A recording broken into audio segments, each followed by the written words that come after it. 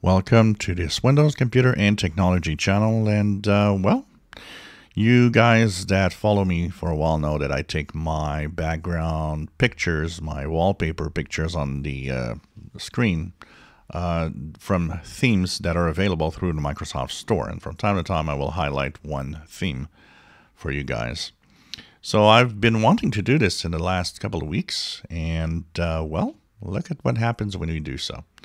So if I go into my settings and I go into my personalization options and of course into themes, you have the standard themes of Windows and it tells you also you want to browse Microsoft Store for more themes, which is where I go. So you click and it opens the store, brings you to the uh, themes section. You could see that for a quick second here you have the themes that try to load, then it says no results found. Try different keywords or remove search filters. So this is kind of interesting because I've had that problem for at least a week, if not two now.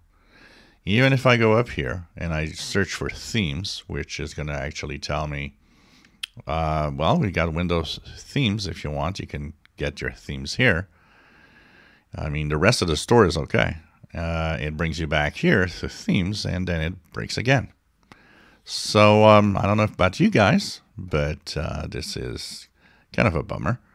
And uh, this is so bizarre that it doesn't really want to work like that. So for now, uh, we're going to stay with the same theme or reuse an older one if I, I want. Maybe I'm going to revert back to some of the themes from uh, from Windows 11. So this one has 15 Northern Lights. This is what I have. Maybe I'm going to go back to uh, here, this one. Let's go here.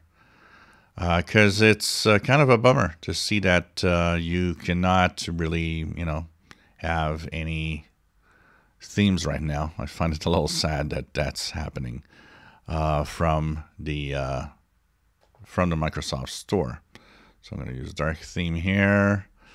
Uh, I'm going to use a dark theme for the apps also, and I have dark themes now. Transparency effect, yes. Uh, show accent color, yes, yes, everything's all right here. Accent colors, accent color, automatic, yes. So this is what I want, and this is going to work. And uh, finally, personalization background image uh, and change every 30 minutes is exactly what I want to have. So here we go. So anyways, uh, broken app store for themes, it seems, uh, which is kind of sad. So I'm going to actually file a, a uh, feedback hub complaint, unless somebody else already did. But this is uh, sad to see that it doesn't work. And this is on every Windows 11 computer that I have. I haven't tried it on Windows 10 yet. But uh, if you're on Windows 10, try it. Let me know if it works. If you're on Windows 11, try it. Let me know if yours work. But I'm getting that problem right now. If you enjoy my videos, please subscribe, give us thumbs up. Thank you for watching.